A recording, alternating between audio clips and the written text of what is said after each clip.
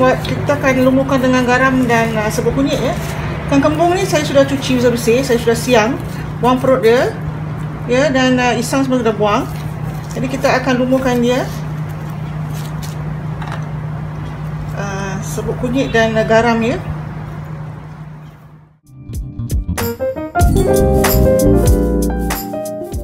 Kita akan simpankan dia, peratkan dia dalam peti ais uh, lebih kurang setengah jam ataupun satu jam ya.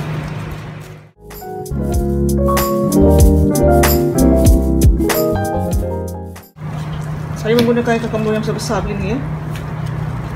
ya.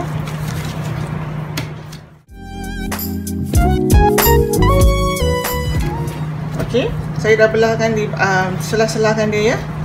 Begini saya akan simpankan dia di dalam peti ais ya. Sementara nunggunya hingga setengah jam atau satu jam ni kita akan buat kuahnya dahulu ya.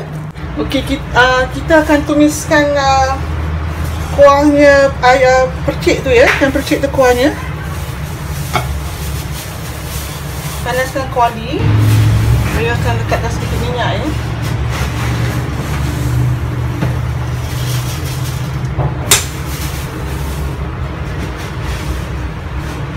Ini bahan tadi ya yang sudah dikisar ya. Dia belacan, bawang putih, bawang kecil, bawang besar, serai, kiri kering, ya. Dan kunyit.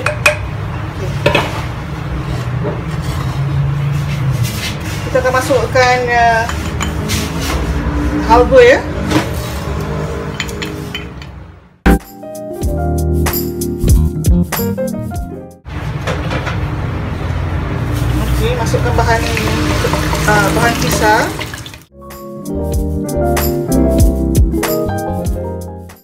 Okey, ini uh, ketumbar ya.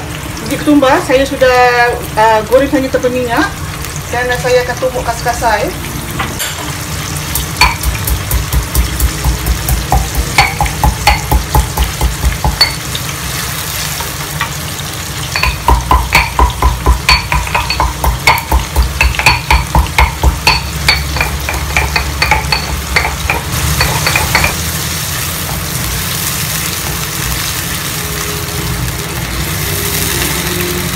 Kita akan tumis hingga garing.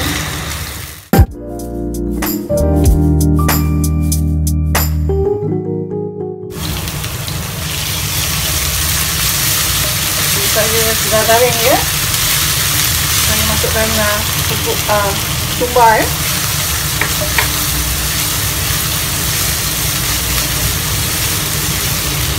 Masukkan air.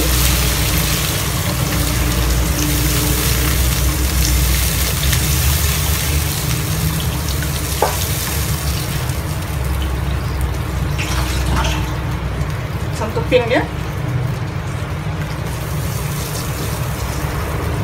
Santan.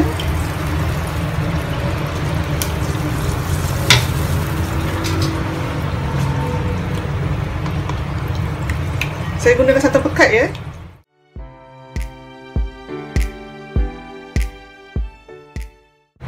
Garam cukup rasa dan juga uh, gula pirang ya Kalau tak ada gula pirang pun boleh gunakan uh, gula biasa gula putih. Kalau saya saya memang suka gunakan gula pirang atau gula gula eh, memang gula pirang lah ya. Atau gula merah ya. So, uh, sedikit uh, sebut perasa. Okay, kita akan masakkan dia dengan media ya.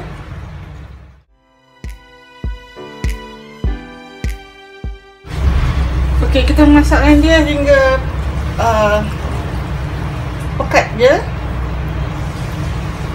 sedang-sedang pekat ya okey. Kita akan masak dengan dia api perlahan.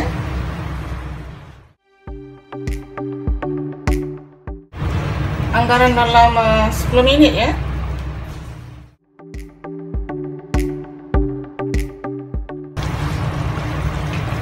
Okey tengok dia punya kornya gini ya. Saya akan matikan api dan saya akan keluarkan uh, asam jauh, ah, asam jauh, asam keping ni ya. Kerana saya tak nak ni kuahnya masam, jadi saya akan keluarkan uh, asam keping. Saya tutup api dulu. Okey, dah pun siap kuah ini ayam per, uh, ikan percik tu ya.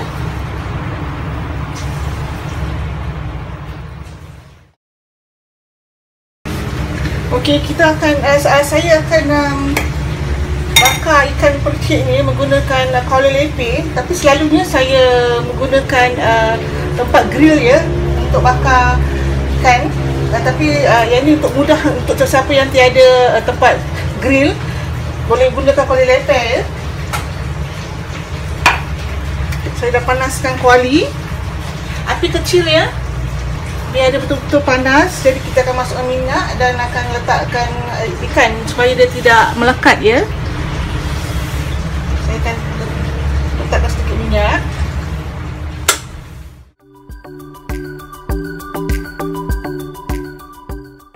Saya akan letakkan uh, ikan ya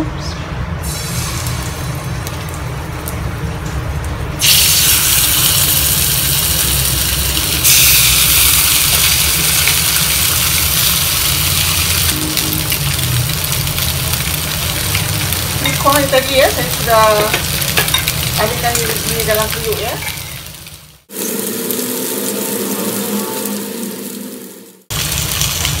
akan terbalikkan dia ya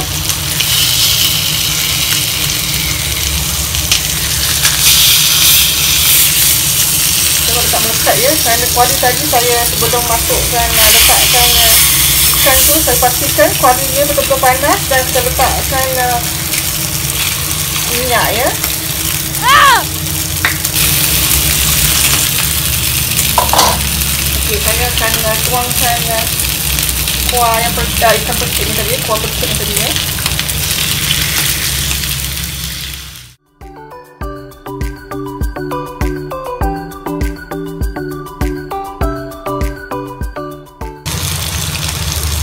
Okey, pastikan uh, kita jangan jangan salah terbalikkan dia ya. Nanti kita tu akan pecah jadi uh, okey saya akan terbalikkan dia sekarang ni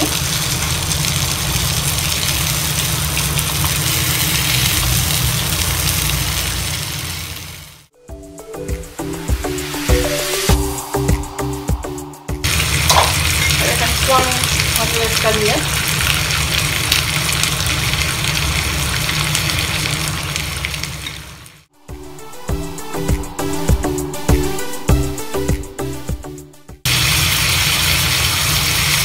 Pastikan apinya kecil sekali.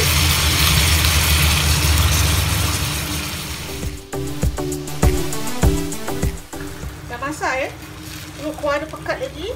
Berminyak keluarkan minyak. Jadi kita akan uh, matikan api ya. Saya dah terbalikkan dia dua kali. Dan siram uh, kuahnya sekali ya. Beginilah uh, yang yang sudah siap begini ya. Ikan perciknya ya. Kita akan matikan api dan uh, letak kita letakkan di dalam uh, pinggannya. Right